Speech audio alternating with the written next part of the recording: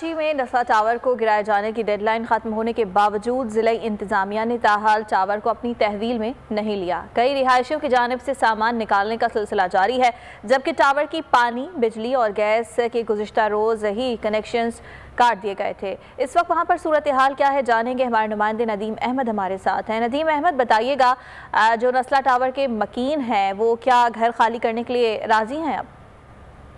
जी हाँ मैं इस वक्त मौजूद हूँ शारा फैसल से मुतसिल नस्ला टावर नस्ला टावर के बाहर, जहाँ गुज्त रोज़ से यही सूरत हाल दिखाई देती है कि एक तरफ़ ज़िला इंतज़ामिया की जानब से जो डेडलाइन जारी की गई थी मकी गुज्त शब बारह बजे जो है वो गुजर चुकी है। ताहम, अब तक के जो है वो ज़िला इंतज़ामिया का कोई फ़र्द या ज़िम्मेदार जो है वो नस्ला टावर नहीं पहुँचा है और ना ही मकीनों से जो है वो कब्ज़ा हासिल करने के लिए बर रास्त कोई कोशिश अमल में लाई जा सकी है। ताहम, दूसरी जानब मकीनों का ये दावा है कि जब तक जब तक हमें हमारी रकम अदा वापस नहीं कर दी जाती मक, मकानों के एवज तब तक के हम अपने रिहायशी फ्लैट्स को खाली करने के लिए तैयार नहीं है। वो बिल्कुल भी आमादा सब्सक्राइब करें और बेल दबाएँ ताकि कोई खबर रह न जाए।